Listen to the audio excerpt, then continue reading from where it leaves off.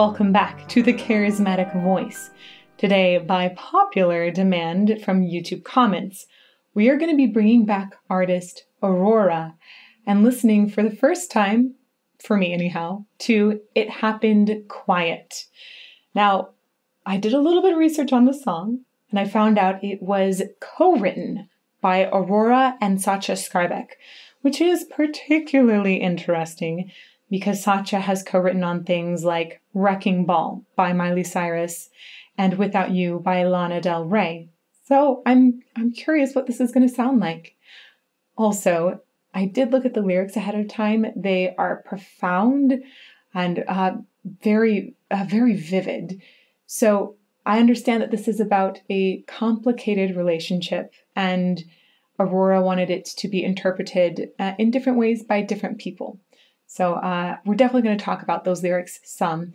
This is going to be taken from a live performance in 2019. Let's get to it.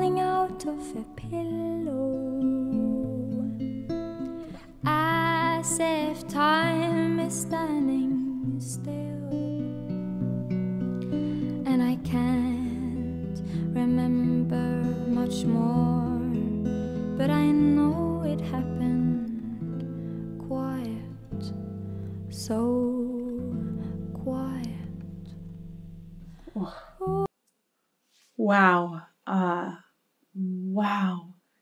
This is uh, this is so dark in the message, but delivered in a slightly detached and simple way. Uh, not detached in a bad way, just um, it, it feels like it's delivered by a person who isn't necessarily on the floor bawling, but somebody who's had to actually remove their emotions from the situation so that they can talk about it which is even more heartbreaking. Aurora's voice is still dripping with expression.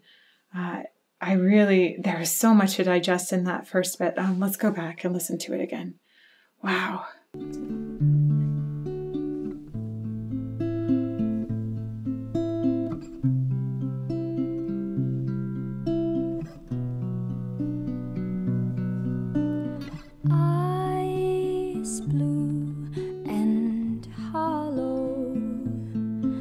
As it rains against their will.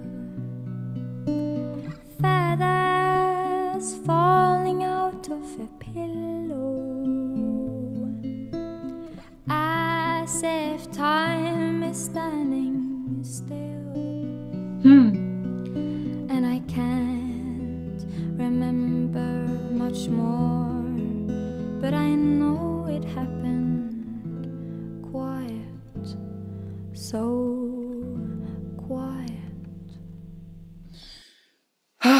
Wow. Uh, okay, a couple things about her voice that I'm I love that she's doing. First of all, it's just so expressive, but um, it is very intentionally expressive too, and she really loves to play with her voice. So you can hear this in the way she ends phrases. Sometimes she'll slide off of them or just stick them right out. Um, there was a moment when she even did almost like a little pitch bend, so like almost like a quicker slide at the end. And she also uses her hands to paint images and make them more vivid. Uh, and it it's almost not just the word images, but it sounds like how she wants to express her voice. Um, it definitely has some other things that she's doing with her hands too, but every now and then I'll see her do something that looks like the air is moving faster, or um, she cut herself off really quickly on one moment and the hands accentuated that for us both visually as well as aiding her probably to make that a really sharp cutoff. Hmm, it's just fantastic. Let's keep going. Words falling out through the window. That remains is a silent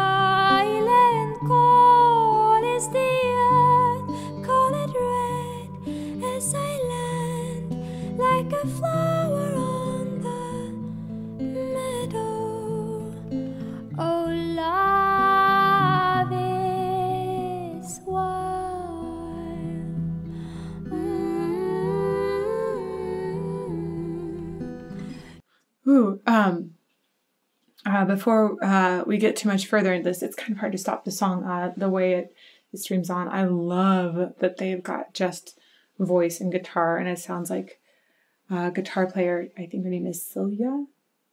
I think um, is going to do some harmony with Aurora here now. I think. Um, I think that was just them. It might have been Aurora layering. We'll find out in just a bit. Um, let's talk a little bit about these words and why at one point my eyes just felt an instant watering. Uh, let's see. What were the words here? Oh, yeah. Words falling out through the window. All that remains is a silent call. When she got to, is the earth colored red? Her voice had this uh, transparency, tenderness. It like it. Um, it was head voice for sure, but she actually made the sound more fragile. Like she's barely on the edge of her cords, just air barely going through it, and ah, oh, wow! I don't. It really got me. The fragileness in the sound is the earth colored red, right? That obviously is speaking of some violence and as I land like a flower on the meadow. So it really sounds like, um, well, it sounds like a really terrible situation, honestly. And then when they got to Love is Wild, uh, again, it has that, she, I think she kept that same airy tone there. Uh, and the guitar rooted in a minor key. This is uh, really important to me because often Love is Wild is uh, is a positive thing, or it's uh, portrayed as being positive. And they'll be like, yeah, man, love is wild. We want to get lost in the wildness of it. But it sounds like the wildness of the love in this situation resulted in pain. And uh, and she's coming back to this word and the way it's imbued with pain um, and latching onto that is probably never wanting to have a wild love kind of situation again. Oh, Okay, we're going to go back to that. That was an amazing moment. Let's go here.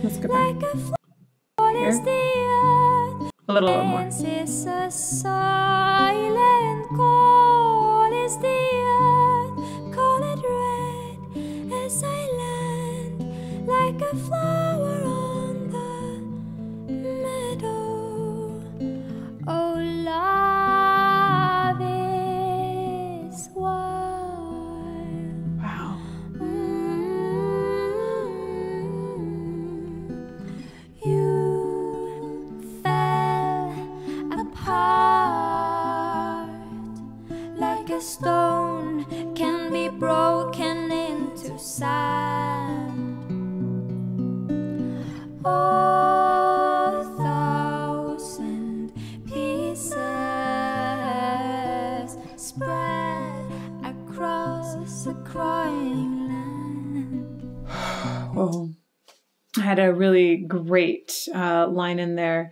And you fell apart like a stone can be broken into sand.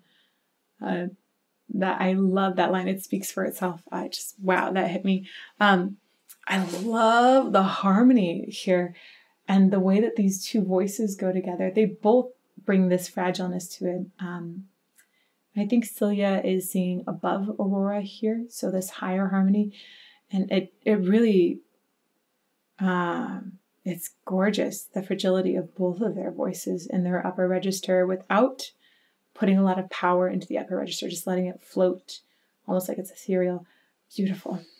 And you can't remember that day, but you know it so Oh, Uh, the the body language of Aurora here is uh, very strong.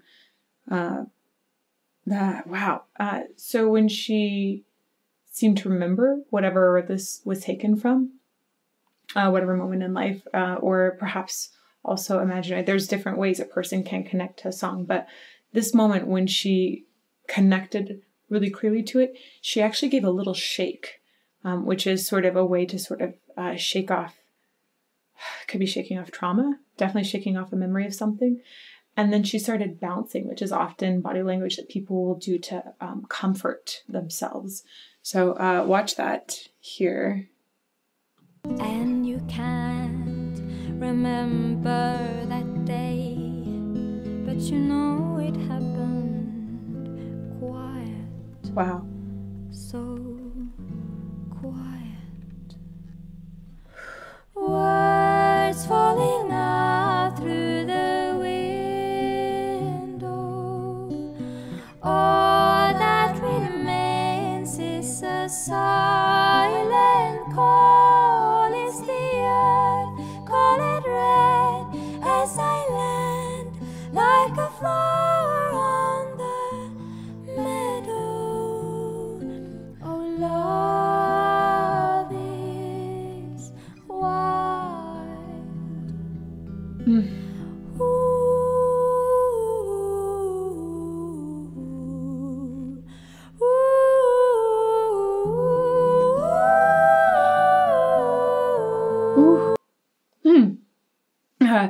Uh, uh, I love the way that the guitar paused there for a bit, and this uh, just this ooh vowel. Ooh can often be something to draw people in.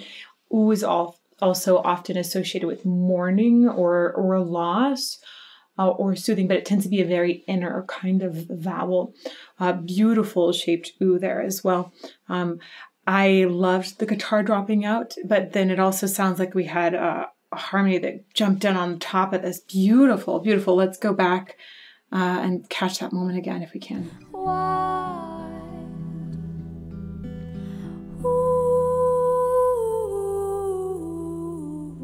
It's haunting.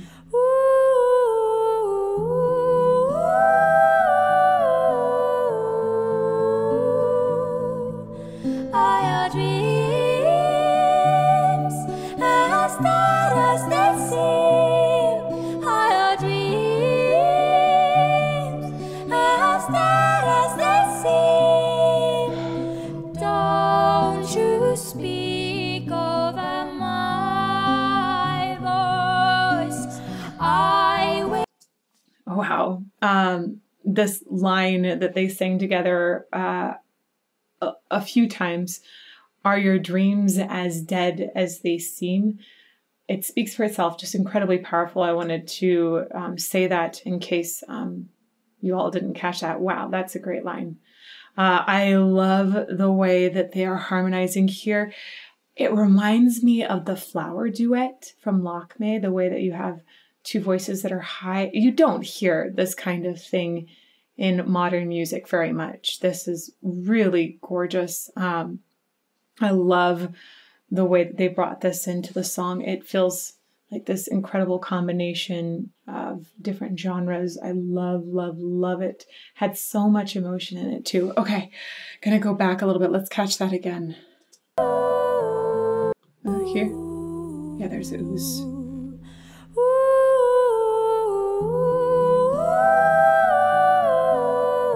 Nice blend.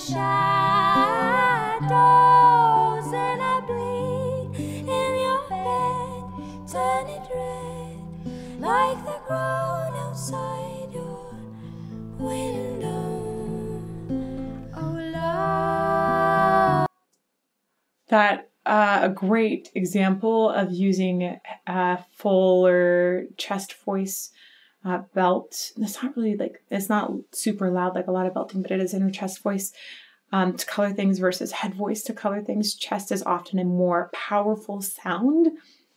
And there are times in the song when I think Aurora wants to sound more powerful versus more fragile.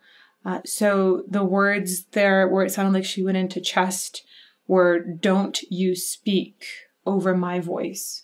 I will return from the shadows.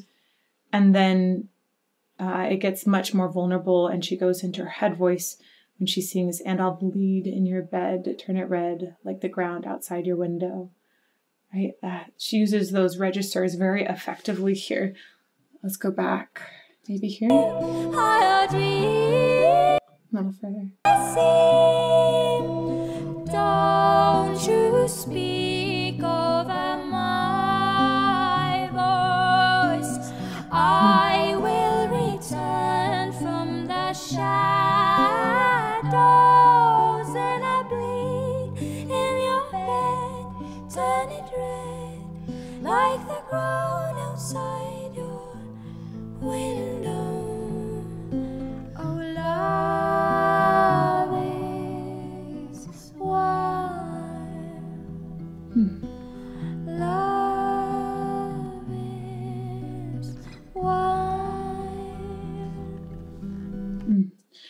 Definitely seems like uh, Aurora feels that feeling of getting lost in love, um, perhaps not in the best way. And uh, Celia here, I like the way she's taken the harmony lower um, and is uh, It's just a, a very careful balance to Aurora's voice. It's quiet, it's subtle, but it's lower and starting to gra- uh, ground both of the voices down. Probably because we're coming to an end soon. Yeah, very soon. Oh,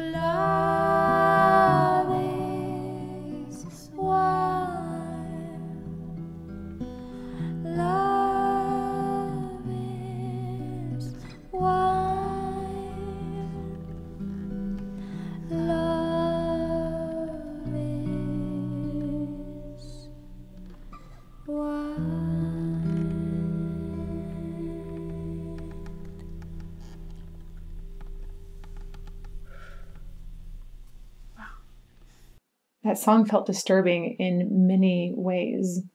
Obviously, it was a great vocal performance delivery uh, from both of the women. I actually didn't expect to hear another woman I knew um, from prep work that there was someone on guitar, but very, very fantastic to hear them together in this Lakmé esque harmonies. But wow, the material of the song and the presentation of it was much darker and more disturbing than I had anticipated. Definitely talking about how the way that love can get wild and out of hand is not always good. And uh, wow, they really captured something important in this song. It was impressive. Uh, the build of it was really great, and the way that they grounded that at the end. But most fascinating to me was the way that they set lyrics that um, that could have had happier moments. It it was all set in minor moments, um, which related a story that was much more clear and and dark. Like I said, uh, whew, uh, thank you to all of you for recommending this. I loved getting to see them in this recording situation. It was great to see Aurora and the way that she doesn't let anything about herself get in the way of delivering her message. I think it is so impressive to see her. She is one of the most authentic and original artists that I've seen these days, and I really appreciate how much she is doing for music and creativity. It's beautiful. So, thank you so much for recommending her and this song. Uh, and also this selected video. Uh, thank you, thank you, thank you. Great example. Uh, if you want to keep making recommendations, please put them in comments down below in the comment section of this video. And if you want to come and say hello to me, you can find me here on YouTube on Mondays, Tuesdays, and Fridays at 8 a.m. You can find me at a 250k party here coming soon. Or you could also find me on Patreon or at thecharismaticvoice.com. I'll see you guys somewhere soon.